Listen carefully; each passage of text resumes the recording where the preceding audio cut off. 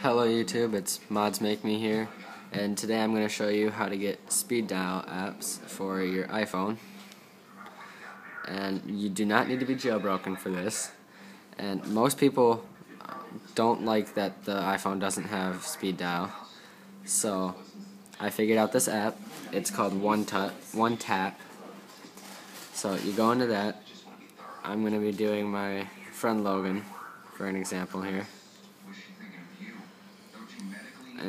click on phone and then you find the contact you want. So Logan.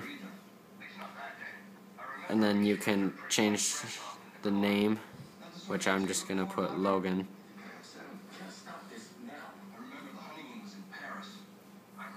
You can change the image and then when you're done hit continue. And it should bring up a web page with instructions just telling you to add it. So you add this to your home screen. You can also change the name there. And there you go. There's an icon now to show you it works. I'm going to hang up right away because I'm on his phone right now. You just click on it and it'll open a couple and then yeah that's pretty much it. I, I like it very much. It comes in handy a lot.